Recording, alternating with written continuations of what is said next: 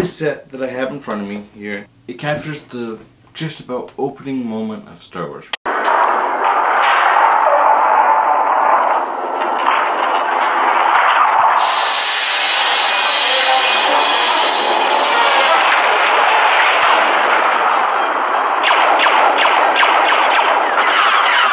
Like this is pinnacle Star Wars. Like uh, this is before even the episodes. I'm not that old to really tell you that I was around for when Star Wars was just Star Wars. There was no other movies. But with that being said, this scene, this does really capture that opening scene, and I'm honestly surprised it hasn't been done uh, like it has in the set 7.5, 387, Tantive 4 porting.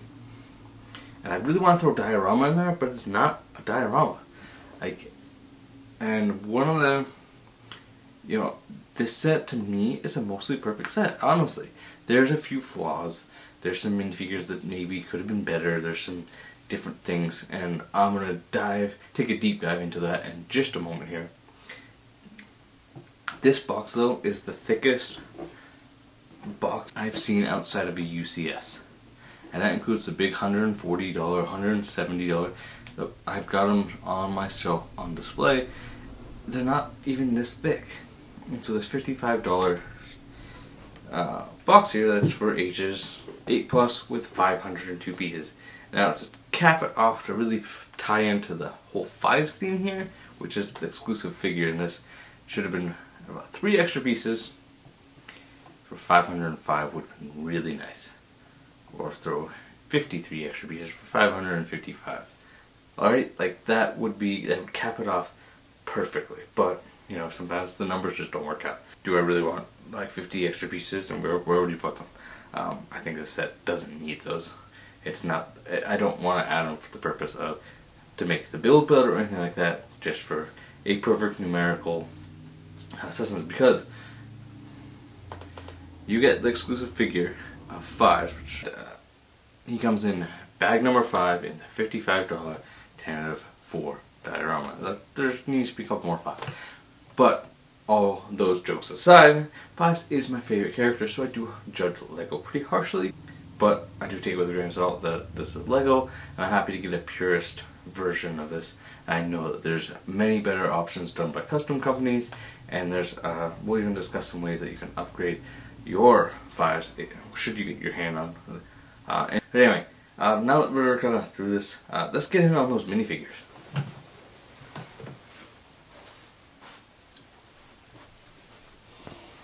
Just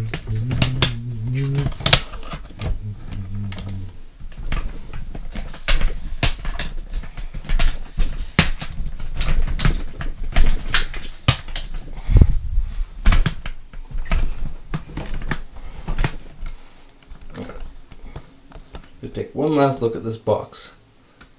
There are the details. You get the you do get nice silver 25th kind of anniversary style box here. I'm not sure if all the boxes this year are going to get that, but the ones with the 25th anniversary figures are definitely going to be getting that. And anything that celebrates uh, the 25th of Lego Star Wars. And you get the characters all on the bottom. This does have quite a bit. And just really kind of, this is just a really thick box. And I'm impressed. Like with all the Lego sets, you get your manual. Uh, I'm having trouble getting my codes, QR codes to work, um, but you do have that QR code to earn those uh, little bit of VIP points. Not many stickers, just a small sticker sheet. And one thing, a little warning that you'll want to be careful about if you haven't built yours. Um, this cloth box has both Darth Vader's cape and Five's pauldron. Uh, I almost lost Five's pauldron, so just be careful um, and when pulling them out, because uh, I don't. It's very easy to throw away a cloth piece. Accidentally, I did that on another set. Okay, we're starting with some soldiers here. These are the stormtroopers. I know a lot of people like to call them the Family Guy because they have the oversized helmets. I do like that they're dual molded though. I think that that looks really good. They're not, to me, they do look like stormtroopers. They don't look terribly goofy, but they don't exactly. Their helmets are oversized, and I'm, I will be glad to admit that. And I do wish that they were the smaller, older helmets. uh, just with that dual molding, and that would be a perfect Stormtrooper. Otherwise, not bad. Like a 9, 9.3, I'm going to say, for these Stormtroopers. Helmets need a little bit of work, but other than that, not too bad. And next up, we have these Rebel Troopers. I do like that you get the silver blasters to, to differentiate that they are not serving with the Stormtroopers, that they are a separate group. If you don't know Rebels versus Stormtrooper, like uh, a kid someone like that who hasn't seen the original Star Wars. But for those that do know, you, know, you don't need that. Um, I think you know black blasters look better, um, but I, I'm not. I'm not mad about it. I think that they're these Rebel Troopers really. There's not much more you could do to them. Maybe some dual molded legs, but not every set needs it. Like I think that they're fine without. Uh, it, dual molded legs does add that little extra little bit of oomph to it that really makes them stand out as figures. Rather than that, like they are much like the, the Yavin 4 base that came out in, in August of last year. Like, there really isn't much more that you need for a Rebel Trooper. Rebel Friend would be a really great uh, minifigure to have again, but otherwise, um, really great minifigures here. They do have a little bit of back printing. Their helmet is very accurate, and there's no change that has needed to be made to that helmet. It's been around since 2008 or somewhere like that. Next up, we have Captain Antilles.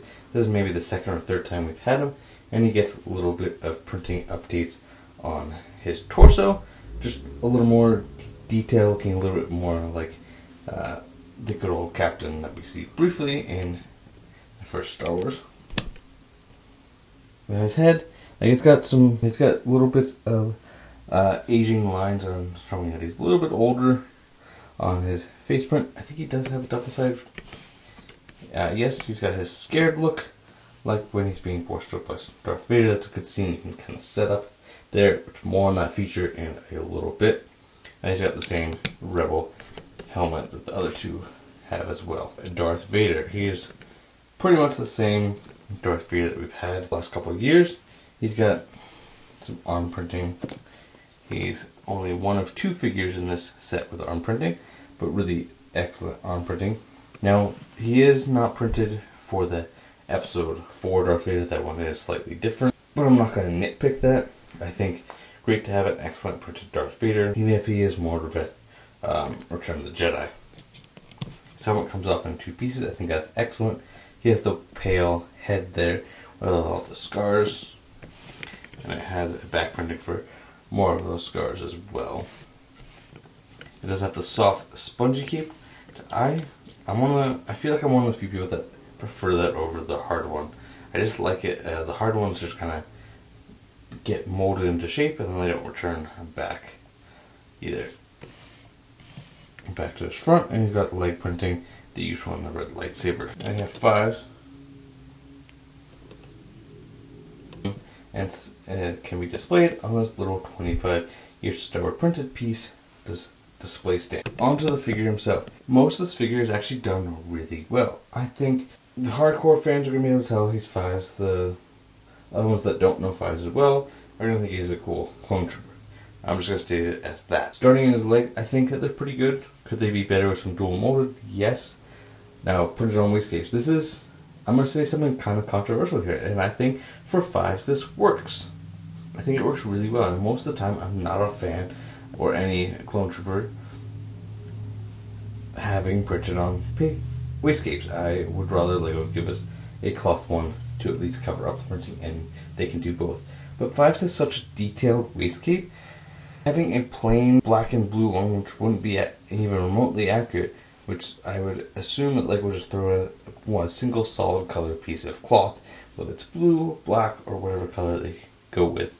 And since fives has, you know, some like a dark gray with blue and stripes and all that printed across it, I think that this is the best of both worlds. There, would I prefer a cloth that is highly printed? Yes. Uh, do I think Lego will ever do that? No. I think Cape Cantina is the way to go to get a really highly detailed, high quality cloth piece for fives.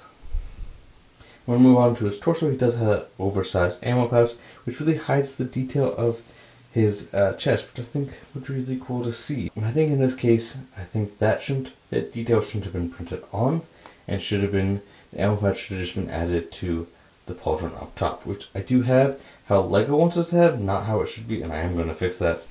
If you just mold it a little bit, even if you have uh, one of the old 2008 pauldrons, you can place it over that for a little bit of time, and then also putting the backpack over top of it. I have it under underneath because that's how the instructions told me to, to build it. But I am going to fix that. And you put the backpack over and then mold it on the crease, the solid black lines, and it's going to be a pretty good pauldron. I do wish, again, that the ammo pouch was attached to it, much like Cape Cantina does. So I think you could really upgrade this figure pretty easily with a Cape Cantina set, and that would be really great.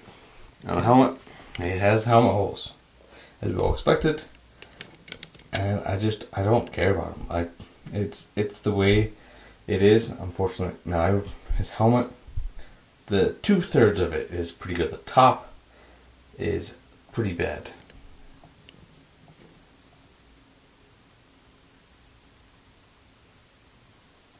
And mine looks even like misprinted.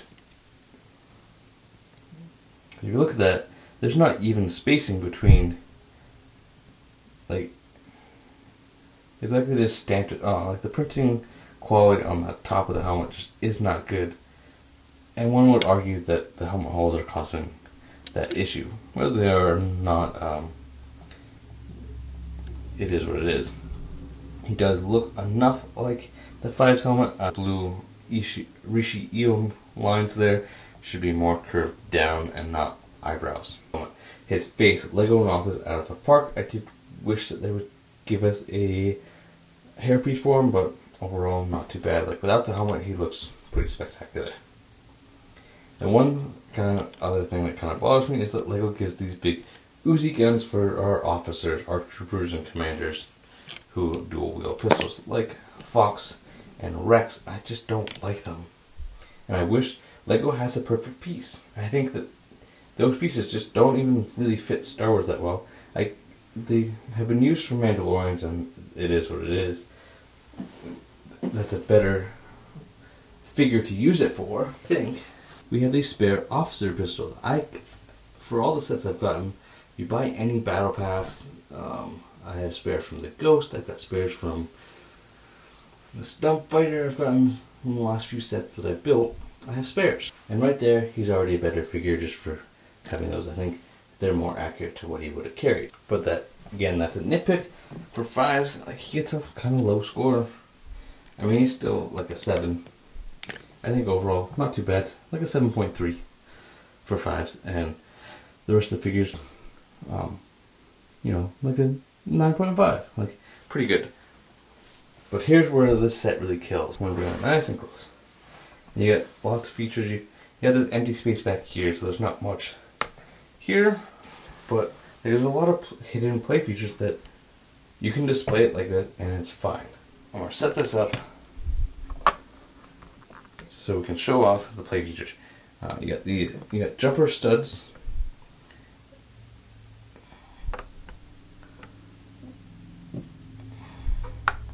Where you can place your figures on both sides. Place one there. Place one there. And you got this trans-clear one by one round piece that you can put you can put Captain Antilles there and I've got him with his scared face he's being forced to by Darth Vader or bend him backwards a little bit there we go now all the pieces are in place now there's a lever back here you pop that open and you got the fire and the smoke and the stormtroopers coming through pretty cool right and then you get Darth Vader and I put in the middle and again, he's force choking. And now you get four of these, which each control each individual soldier. Fire, fire them forward and backward, like he's gonna go. That, and they all pop off. And there's like not much more to the set. And again, like you have the display pack, display, and you put fives there. And that's really the set. Like there's really, it's a, it's a good long build, but there's not much to it, and it's a really great display piece. It's a great play piece, and really takes after like Lego really took a look at the Dark Trooper attack and said, how can we make this better and what scene can we do? And they came up with this, and this was the scene that needed to be done, especially for 25 years of Star Wars. This scene has never been done.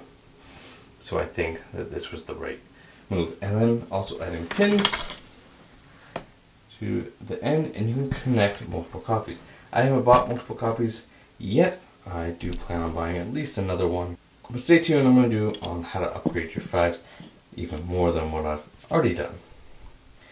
And uh, that's going to do it for me, so don't forget to check out Amazon links down in the description. Smash that like button and subscribe if you're new here. And I've got another video coming right up.